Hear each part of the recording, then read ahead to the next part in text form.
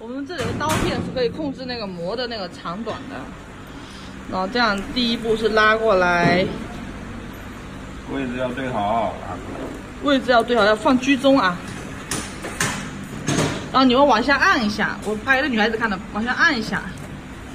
然后边上要这样往下刮，看看它那样子。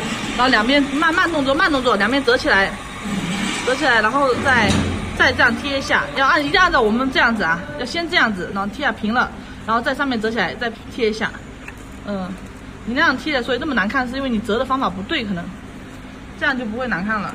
在这边，这边是硬的是吧？嗯。嗯。啊，就像它这样子。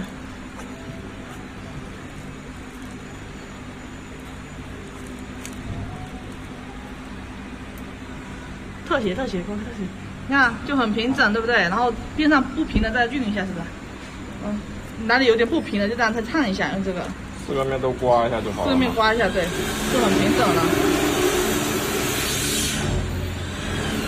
它这边是呃，这边没那么平，是因为它这边是空的，是软的，然后这边是有东西的，所以这边就很平整。按是硬的，你的产品是硬的就没关系，软的就会分起来就不好看的。